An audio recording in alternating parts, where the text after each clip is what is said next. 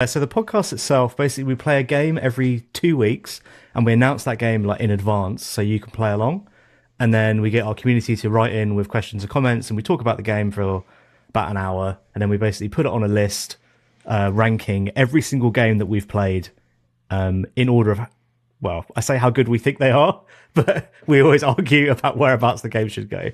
But yeah, so it's kind of like a tier list of every single game we've done.